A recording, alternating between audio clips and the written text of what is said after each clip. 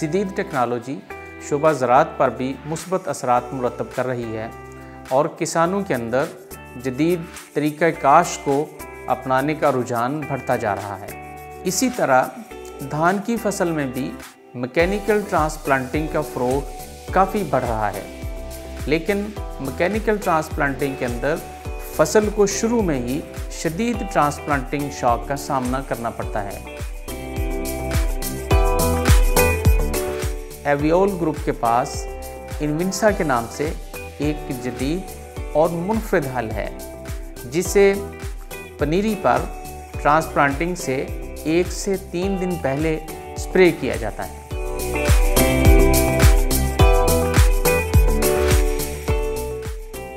चौबीस जुलाई 2020 को इवियल ग्रुप ने गैलेक्सी राइस मिल के इश्तराक से मियाँ आमिर अज़ीज़ साहब के फार्म पर फार्म मैनेजर मलिक इब्राहिम और गैलेक्सी राइस मिल के स्टाफ की मौजूदगी में धान की मैकेनिकल ट्रांसप्लांटिंग के लिए तैयार पनीरी पर इनमिनसा का सुबह के वक्त स्प्रे किया।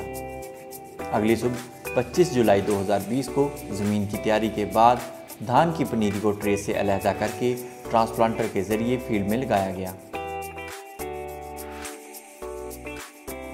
11 अगस्त 2020 को इसी खेत में इनमिनसा का फ़ील्ड डे किया गया। आप हमने ये देख सकते हैं ये वो प्लाट है जहाँ पे इनमिनसा इस्तेमाल नहीं हुआ और ये वो प्लाट है जहाँ पे इनमिनसा इस्तेमाल हुआ है।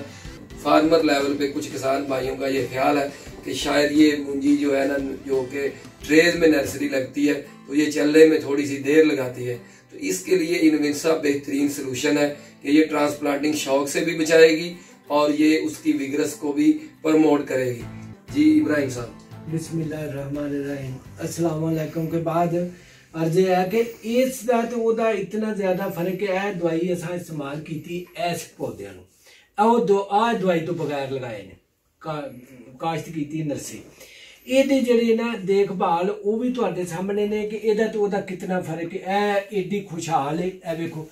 ਇਹ ਇੱਕ ਬੂਟੇ ਦੀਆਂ ਕਿੰਨੀਆਂ ਨਾਲੀਆਂ ਨੇ, ਇਹ ਉਹਨੇ ਨਾਲੀਆਂ ਵੇਖੋ, ਇਹ ਥੋੜੀਆਂ ਨਾ, ਉਹਨੀਆਂ ਨਾਲੀਆਂ ਨੇ, ਲੇਕਿਨ ਇਹ ਕਮਜ਼ੋਰ ਹੈ। ਹਾਂਜੀ। ਉਸ ਤੋਂ ਬਾਅਦ ਫਿਰ ਇਹ ਇਹਦਾ ਜਿਹੜਾ ਨਾ ਝਾੜ ਉਹ ਵੀ ਜ਼ਿਆਦਾ ਰਹਿ ਇਹਦੇ ਨਾਲ ਕਮ ਸੇ ਕਮ 15 20 ਮਨ ਦਾ ਝਾੜ ਇਸ ਤੋਂ ਜ਼ਿਆਦਾ ਹੋਵੇਗਾ। ਔਰ ਨਰਸੀ ਵੀ ਇਤਨੀ ਕਿ ਮਜ਼ਬੂਤ ਹੋ ਜਾਂਦੀ ਹੈ ਕਿ ਦੂਸਰੀ ਨਰਸੀ ਗਿਰਨ ਦੀ ਸ਼ੁਰੂ ਚਾਰਾ ਕਰਦੀ ਹੈ, ਗਿਰਦੀ ਨਹੀਂ, ਮੌਕੇ ਤੇ ਆਪਣੇ ਪੈਰਾਂ 'ਤੇ ਖੜੀ ਹੋ ਜਾਂਦੀ ਹੈ। ਮੇਰੀ ਅਕਲ ਮੁਤਾਬਕ ਜ਼ਿਮੀਂਦਾਰਾਂ ਨੂੰ ਇਹ ਮਸ਼ਵਰੇ ਤੁਹਾਡੇ ਕੋਲ ਲੈਣੇ ਚਾਹੀਦੇ ਨੇ ਔਰ ਤੁਸੀਂ ਵਾਕਈ ਜ਼ਿਮੀਂਦਾਰਾਂ ਦੀ ਬੜੀ ਹਰਫ ਕਰਦੇ ਹੋ। ਬਹੁਤ ਸ਼ੁਕਰੀਆ 15 ਮਨ 20 ਮਨ ਦੀ, ਅਗਰ 5 ਮਨ ਵੀ ਜ਼ਿਮੀਂਦਾਰ ਦਾ ਝਾੜ ਵਧ मैं समझना कि इन पाकिस्तान बहुत ज़्यादा तरक्की और असी ज़्यादा चावल पैदा करके, ज़्यादा चावल एक्सपोर्ट करके, ज़्यादा जोड़ा जरे मुबादला है, वो असी कमा सकते हैं और अपने मुल्क को खुशहाल कर सकते हैं। जैसा कि हम कहते हैं कि इनविनसा धान की फ़सल को ट्रांसप्लांटिंग शाख से महफूज रखता है।